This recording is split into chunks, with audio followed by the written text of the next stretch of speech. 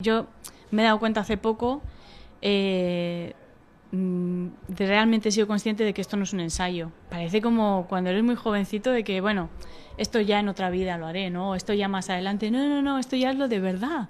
O sea, no es de, bueno, escribiré un libro. no, no, es que es esto ya. Es hazlo ahora, es ahora. Eh, luego te puede pasar algo, ¿eh? Es ahora.